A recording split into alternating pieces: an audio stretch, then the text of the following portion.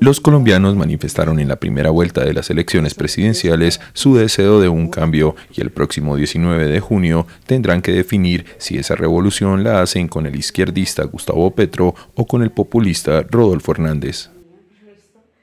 Petro, senador y exalcalde de Bogotá, se hizo con la mayor votación de una primera ronda en la historia de Colombia, más de 8.5 millones de votos, a base de promesas de cambio, pero no contaba con que Hernández se colaría en el balotaje con el mismo objetivo, sacudir la tradición política colombiana de gobiernos conservadores y de partidos tradicionales.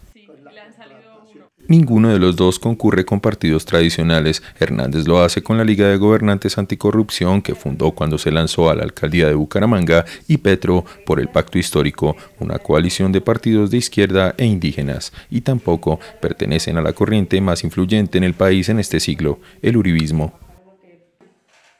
En este panorama, Petro se ha convertido en lo más tradicional cuando su figura de líder de izquierdas, que es la tercera vez que concurre a unas elecciones, siempre ha sido lo revolucionario.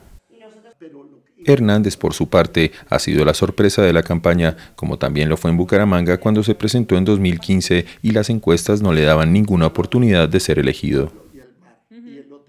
Tras cuatro años de un gobierno de Iván Duque, que hizo campaña por el no al acuerdo de paz y ha tenido una de las cifras más bajas de popularidad, además de lidiar con una pandemia que ha arrojado a decenas de miles de personas a la pobreza, Colombia llega a las elecciones anhelando algo diferente.